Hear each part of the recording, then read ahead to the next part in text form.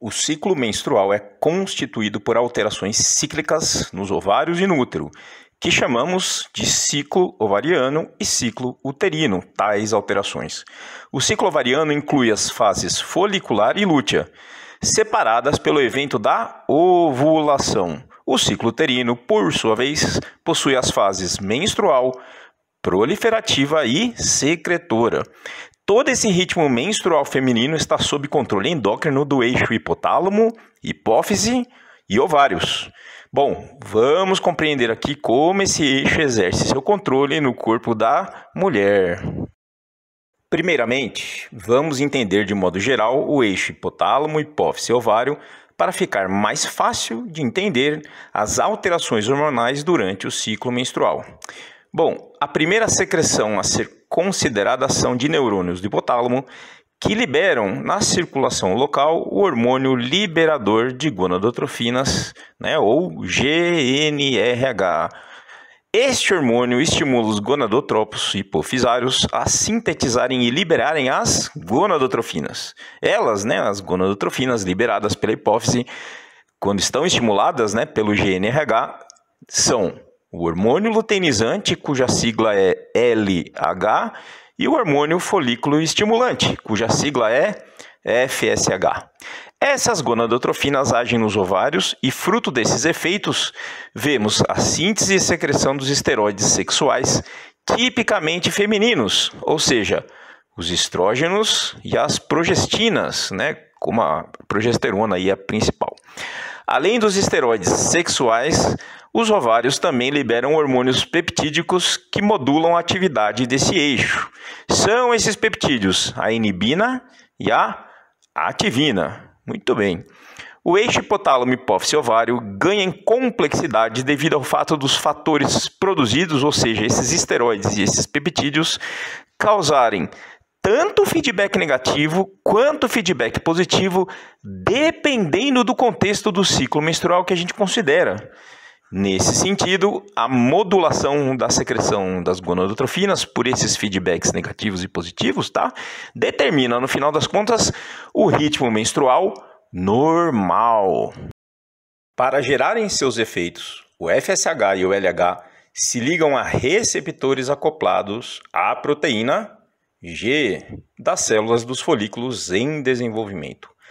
As células da teca possuem receptores de LH enquanto as células da granulosa têm receptores tanto de LH quanto de FSH. Contudo, os receptores de FSH das células da granulosa as habilitam a serem reativas né, a este hormônio, ao FSH, constantemente, enquanto os receptores de LH dessas células, né, das células da granulosa, surgem no final da fase folicular e se tornam mais importantes né, desse momento em diante, ou seja, ali do final da fase folicular e durante a fase lútea do ciclo ovariano, pois o LH estimula, no final das contas, né, essas células a produzirem, as células né, da granulosa, né, a produzirem progesterona. Sob a ação dessas gonadotrofinas, podemos destacar a estimulação da multiplicação celular das células ovarianas, o que leva né, ao desenvolvimento folicular e à diferenciação de tais células. Agora, numa perspectiva endocrinológica, as gonadotrofinas são cruciais para estimularem a produção dos esteroides sexuais. Vamos entender a síntese desses esteroides induzidos pelas gonadotrofinas. Muito bem. As células da teca têm receptores de LH, logo são reativas a ele. O LH estimula as células da teca a produzirem andrógenos. Então veja, as células da teca têm uma certa semelhança às células de Leydig do testículo, né? Ambas são reativas ao LH e produzem andrógenos. Tá? No caso da célula da teca, né, que produz andrógeno, a gente pode destacar especialmente a produção do andrógeno chamado androstenediona, além de estimular também a síntese de progesterona, que é um intermediário na produção de andrógenos. Bom, primeiramente, a androstenediona formada difunde para as células da granulosa, passando facilmente pela membrana celular. Por quê?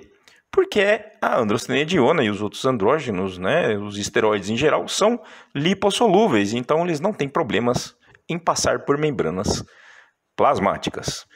Em segundo lugar, sob efeito do FSH, as células da granulosa produzem uma enzima chamada aromatase e também algumas outras enzimas, eu, mas eu vou destacar aqui nesse momento, apenas nesse momento aqui, a aromatase. O que a aromatase faz? Ela converte a androstenediona e outros andrógenos, no final das contas, em estrógenos.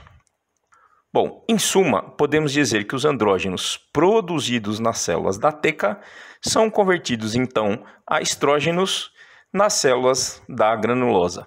Esse é o conceito-chave aqui que eu passo para vocês, ok?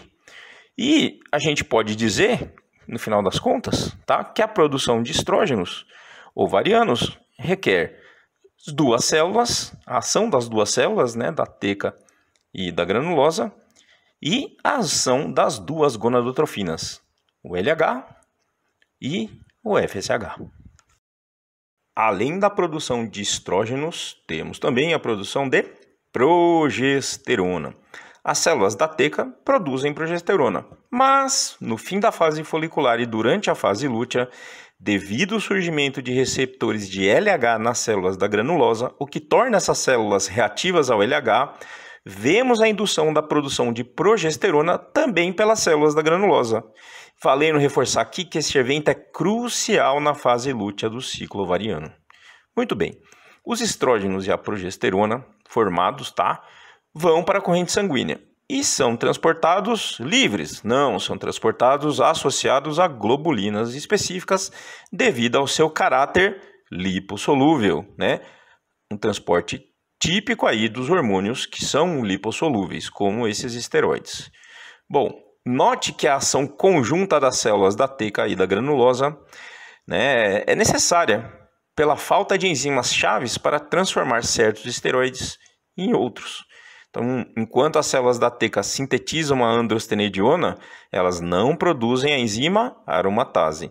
Devido à falta da aromatase nas células da teca, não é possível gerar estrógenos a partir desse andrógeno, né, da androstenediona.